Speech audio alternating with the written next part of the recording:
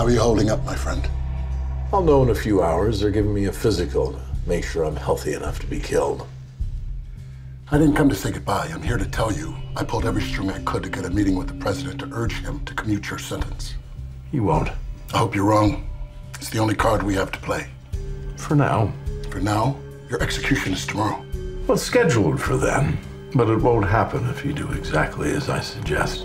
We'll do whatever it takes. Good, because it's going to require you to steal account information from a bank in Luxembourg. You want the FBI to rob a bank? Oh, don't look so sour. At this time of year, the valleys of the Black Ernts are just beautiful. Elizabeth will tell you the why. You'll have to figure out the how. Or this will be goodbye.